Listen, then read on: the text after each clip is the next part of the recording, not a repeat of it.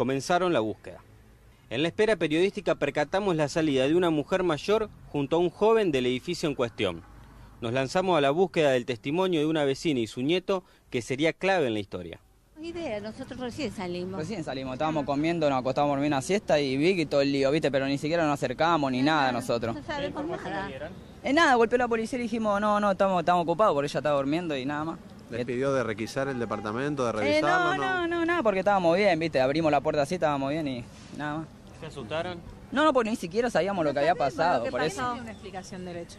Eh, nadie, nadie, porque vimos la policía, golpeó y ni recién salimos y mirá, te digo, ¿viste? sabían ustedes? No sabíamos nada, vivimos mucha requisa en el edificio, que andaban por todos lados, pero golpeó. ¿Cuántos pisos tiene el edificio? Eh, 12 no tiene.